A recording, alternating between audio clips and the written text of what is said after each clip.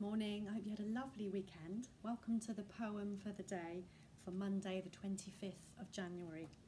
This poem is anonymous, which means we don't know who wrote it, but I think a lot of you might recognise it. It's called Star Wish.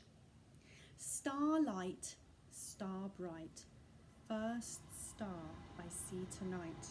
I wish I may, I wish I might have the wish I wish tonight. See you tomorrow.